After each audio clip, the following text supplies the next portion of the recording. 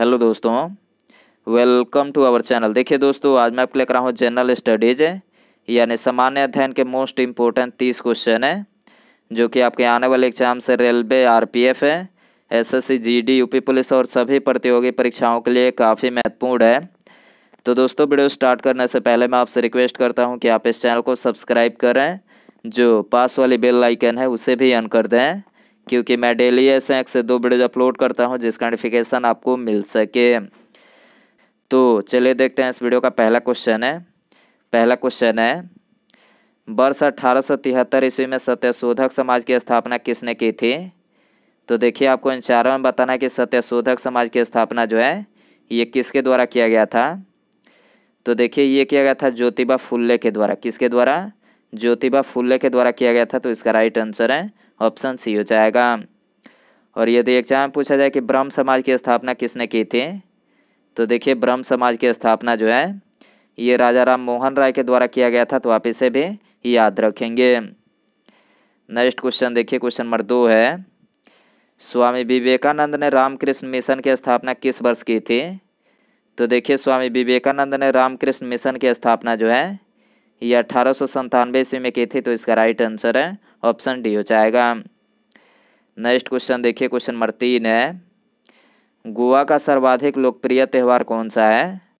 तो देखिए, आपको इन चारों में बताना है कि गोवा का ये सर्वाधिक लोकप्रिय त्यौहार कौन सा है। तो देखिए, ये है कार्निवल। ठीक, कार्निवल है तो इसका राइट आंसर है। ऑप्शन ए हो जाएगा। और यदि एग्ज़ाम पूछा जाए कि पोंगल किस राज्य का लोकप्रिय त्यौहार है? तो देखिए, पोंगल जो है ये तमिलनाडु का लोकप्रिय त्यौहार है तो आप इसे भी याद रखेंगे।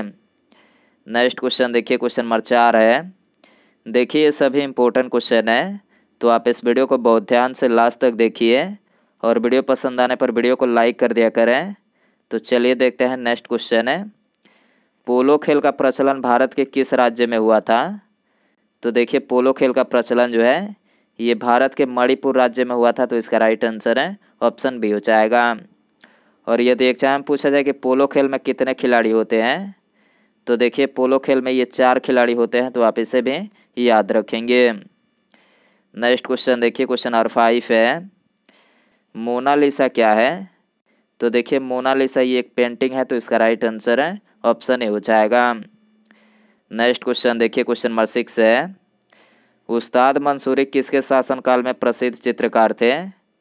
तो देखिए, उस्ताद मंसूरी जो थे ये जहांगीर के शासनकाल में प्रसिद्ध चित्रकार थे तो इसका राइट आंसर है ऑप्शन बी हो जाएगा।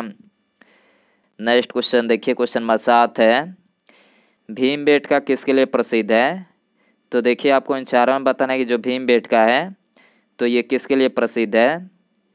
तो देखिए, ये प्रसिद्ध है गुफाओं के शैल चित्र के लिए। ठीक, गुफाओं के शैल चित्र के लिए प्रसिद्ध है तो इसका राइट आंसर है ऑप्शन ए हो जाएगा। और यदि एग्ज़ाम पूछा जाए कि सांची का स्तूप किसके लिए प्रसिद्ध है तो देखिए सांची का स्तूप जो है, ये बौद्ध स्मारक के लिए प्रसिद्ध है तो आप इसे भी याद रखेंगे। नेक्स्ट क्वेश्चन देखिए, क्वेश्चन नंबर आठ है। अकबरनामा किसने लिखा था? तो देखिए, अकबरनामा जो है, ये अबुल फजल ने लिखा था तो इसका राइट आंसर है, ऑप्शन सी हो जाएगा। और यदि एग्ज़ाम में पूछा जाए कि बाबरनामा किसने लिखा था तो देखिए बाबरनामा जो है ये बाबर के द्वारा लिखा गया था तो आप इसे भी याद रखेंगे। नेक्स्ट क्वेश्चन देखिए क्वेश्चन नंबर नाइन है। खो खो खेल में कितने खिलाड़ी एक टीम में होते हैं? तो देखिए खो खो खेल में ये नौ खिलाड़ी एक टीम में होते हैं तो इसका राइट आंसर है ऑप्शन डी हो जाएगा। नेक्स्ट क्वेश्चन देखिए क्वेश्चन नंबर दस है। भारत में आधुनिक शिक्षा का जन्मदाता किसे कहा जाता है? तो देखिए, भारत में आधुनिक शिक्षा का जन्मदाता जो है ये चार्ल्स ग्रांट को कहा जाता है तो इसका राइट आंसर है ऑप्शन ए हो जाएगा। और यदि एग्ज़ाम पूछा जाए कि भारत में अंग्रेज़ी का जन्मदाता किसे कहा जाता है? तो देखिए, भारत में अंग्रेज़ी का जन्मदाता जो है, ये लॉर्ड मैकाले को कहा जाता है तो आप इसे भी याद रखेंगे। नेक्स्ट क्वेश्चन देखिए, क्वेश्चन नंबर ग्यारह है। प्राचीन भारत का महान व्याकरण पतंजलि किसका समकालीन था? तो देखिए, आपको इन चारों में बताना कि प्राचीन भारत का ये महान व्याकरण पतंजलि किसका समकालीन था? तो देखिए, ये समकालीन था पुष्यमित्र सुंग का। ठीक, पुष्यमित्र सुंग का समकालीन था तो इसका राइट आंसर है ऑप्शन डी हो जाएगा। और यदि एग्ज़ाम पूछा जाए कि सुंग वंश की स्थापना किसके द्वारा की गई थी? तो देखिए, सुंग वंश की स्थापना जो है, ये पुष्य मित्र सुंग के द्वारा किया गया था तो आप इसे भी याद रखेंगे। नेक्स्ट क्वेश्चन देखिए क्वेश्चन नंबर बारह है। निम्नलिखित में से किसने सर्वाधिक शुद्ध सोने के सिक्के जारी किए थे? तो देखिए, आपको इन चारों में बताना है किसने जो है, ये सर्वाधिक शुद्ध सोने के सिक्के जारी किए थे। तो देखिए, ये जारी किए थे कुषाणों ने। ठीक, कुषाणों ने जारी किए थे तो इसका राइट आंसर है ऑप्शन ए हो जाएगा। नेक्स्ट क्वेश्चन देखिए, क्वेश्चन नंबर तेरह है। विश्व इतिहास की झलक के रचयिता कौन है? तो देखिए, विश्व इतिहास की झलक ये एक पुस्तक है। और इसकी रचना जो है जवाहरलाल नेहरू के द्वारा किया गया था तो इसका राइट आंसर है ऑप्शन ए हो जाएगा। नेक्स्ट क्वेश्चन देखिए क्वेश्चन नंबर फोर्टीन है। हड़प नीति के अंतर्गत कौन से भारतीय राज्य को कब्जा किया गया था? तो देखिए, आपको इन चारों में बताना है कि हड़प नीति के अंतर्गत ये कौन से भारतीय राज्य को कब्जा किया गया था? तो देखिए, ये किया गया था झांसी, नागपुर व सतार। ठीक, झांसी, नागपुर व सतार को कब्जा किया गया था तो इसका राइट आंसर है ऑप्शन बी हो जाएगा। और यदि एग्ज़ाम पूछा जाए कि राज्य हड़प नीति किसके द्वारा लागू की गई थी तो देखिए राज्य हड़प नीति जो है, ये लॉर्ड दलहौजी के द्वारा लागू की गई थी तो आप इसे भी याद रखेंगे। नेक्स्ट क्वेश्चन देखिए, क्वेश्चन आर फिफ्टीन है, सर टॉमस मुनरो किस भू राजस्व बंदोबस्त से संबंधित है? तो देखिए, सर टॉमस मुनरो जो है, ये रैयत बाड़ी बंदोबस्त से संबंधित है तो इसका राइट आंसर है, ऑप्शन सी हो जाएगा। नेक्स्ट क्वेश्चन देखिए क्वेश्चन नंबर सिक्सटीन है। भारतीय पुनर्जागरण आंदोलन के पिता कौन थे? तो देखिए, भारतीय पुनर्जागरण आंदोलन के पिता ये राजा राम मोहन राय थे तो इसका राइट आंसर है ऑप्शन डी हो जाएगा। नेक्स्ट क्वेश्चन देखिए क्वेश्चन नंबर सेवेंटीन है। हैदराबाद में नेशनल पुलिस एकेडमी का नाम किसके नाम पर रखा गया है? तो देखिए, हैदराबाद में नेशनल पुलिस एकेडमी का नाम जो है ये सरदार वल्लभ भाई पटेल के नाम पर रखा गया है तो इसका राइट आंसर है ऑप्शन ए हो जाएगा। नेक्स्ट क्वेश्चन देखिए क्वेश्चन नंबर एटीन है। जापान का मैनचेस्टर किसे कहा जाता है? तो देखिए, जापान का मैनचेस्टर जो है, ये ओसाका को कहा जाता है तो इसका राइट आंसर है ऑप्शन बी हो जाएगा। और यदि एग्ज़ाम में पूछा जाए कि भारत का मैनचेस्टर किसे कहा जाता है? तो देखिए, भारत का मैनचेस्टर जो है, ये अहमदाबाद को कहा जाता है तो आप इसे भी याद रखेंगे। नेक्स्ट क्वेश्चन देखिए क्वेश्चन नंबर उन्नीस है। एस्कीमो कहाँ के निवासी हैं? तो देखिए एस्कीमो जो है, ये कनाडा व ग्रीनलैंड के निवासी हैं तो इसका राइट आंसर है ऑप्शन ए हो जाएगा। नेक्स्ट क्वेश्चन देखिए क्वेश्चन नंबर बीस है। माओरी जनजाति का निवास स्थान कहाँ पर पाया जाता है? तो देखिए, आपको इन चारों में बताना है, जो माओरी जनजाति पाई जाती है तो ये कहाँ पर पाई जाती है? तो देखिए, ये पाई जाती है न्यूजीलैंड में। ठीक, न्यूजीलैंड में पाई जाती है तो इसका राइट आंसर है ऑप्शन बी हो जाएगा। नेक्स्ट क्वेश्चन देखिए क्वेश्चन नंबर इक्कीस है। सर्वोदय के देश के नाम से किसे जाना जाता है? तो देखिए, सर्वोदय के देश के नाम से जो है, ये जापान को जाना जाता है तो इसका राइट आंसर है ऑप्शन बी हो जाएगा। नेक्स्ट क्वेश्चन देखिए क्वेश्चन नंबर बाईस है। भारत के लिए समुद्री मार्ग की खोज किसके द्वारा की गई थी? तो देखिए आपको इन चारों में बताना है कि भारत के लिए ये समुद्री मार्ग की खोज जो है ये किसके द्वारा किया गया था? तो देखिए ये किया गया था पुर्तगालियों के द्वारा। ठीक, पुर्तगालियों के द्वारा किया गया था तो इसका राइट आंसर है ऑप्शन सी हो जाएगा। नेक्स्ट क्वेश्चन देखिए क्वेश्चन नंबर तेईस है।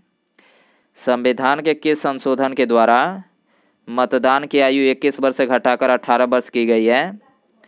तो देखिए ये किया गया है इकसठवा संविधान संशोधन के द्वारा।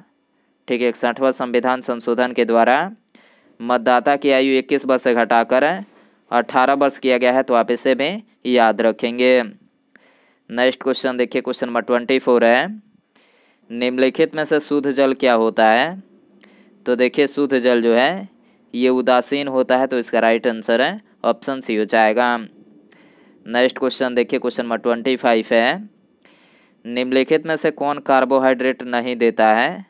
तो देखिए आपको इन चारों में बताना है कि इनमें से किसमें जो है कार्बोहाइड्रेट नहीं पाया जाता है। तो देखिए ये है पालक, ठीक, पालक में जो है आयरन की मात्रा पाई जाती है और बाकी मक्खन, दूध और मछली, यानी इन तीनों में जो है कार्बोहाइड्रेट पाया जाता है तो आप इसे भी याद रखेंगे। नेक्स्ट क्वेश्चन देखिए क्वेश्चन नंबर ट्वेंटी सिक्स है। परमाणु के नाभिक में क्या होते हैं? तो देखिए, परमाणु के नाभिक में ये प्रोटॉन व न्यूट्रॉन होते हैं तो इसका राइट आंसर है ऑप्शन ए हो जाएगा। नेक्स्ट क्वेश्चन देखिए क्वेश्चन नंबर ट्वेंटी सेवन है। क्यूरी किसकी इकाई है? तो देखिए क्यूरी जो है, ये रेडियो एक्टिव धर्मिता की इकाई है तो इसका राइट आंसर है ऑप्शन सी हो जाएगा। नेक्स्ट क्वेश्चन देखिए क्वेश्चन नंबर ट्वेंटी एट है। स्टेथोस्कोप का आविष्कार किसने किया था?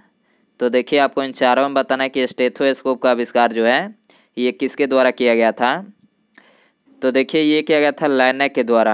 ठीक लैनेक के द्वारा किया गया था तो इसका राइट आंसर है ऑप्शन बी हो जाएगा। और यदि एग्ज़ाम पूछा जाए कि होम्योपैथी का आविष्कार किसने किया था तो देखिए होम्योपैथी का आविष्कार जो है, ये हैनीमैन के द्वारा किया गया था तो आप इसे भी याद रखेंगे। नेक्स्ट क्वेश्चन देखिए क्वेश्चन नंबर उनतीस है। निम्नलिखित में से किस रंग का तरंग दैर सर्वाधिक होता है? तो देखिए आपको इन चारों में बताना है किस रंग का तरंग दैर जो है ये सबसे अधिक होता है। तो देखिए, ये होता है लाल रंग का। ठीक, लाल रंग का तरंग दैर जो है, ये सबसे अधिक होता है। और बैगनी रंग का तरंग दैर जो है, सबसे कम होता है तो आप इसे भी याद रखेंगे। और लास्ट क्वेश्चन देखिए क्वेश्चन नंबर तीस है। इंसुलिन की कमी से कौन सा रोग होता है? तो देखिए, आपको इन चारों में बताना है कि इंसुलिन की कमी से इनमें से कौन सा रोग होता है। तो देखिए, ये होता है डायबिटीज़ रोग। ठीक डायबिटीज़ रोग होता है तो इसका राइट आंसर है ऑप्शन ए हो जाएगा। और यदि एग्ज़ाम में पूछा जाए कि आयरन की कमी से कौन सा रोग होता है तो देखिए आयरन की कमी से ये अनेमिया रोग होता है तो आप इसे भी याद रखेंगे। तो दोस्तों, ये थे जनरल स्टडीज़ के मोस्ट इम्पोर्टेंट तीस क्वेश्चन है, जो कि आपके सभी गवर्नमेंट एग्ज़ाम्स के लिए काफ़ी महत्वपूर्ण है। तो दोस्तों आई होप कि ये वीडियो पसंद आएगा पसंद आए तो वीडियो को लाइक कर दिया करें। चैनल को सब्सक्राइब करें बेल आइकन दबाएँ। Thanks for watching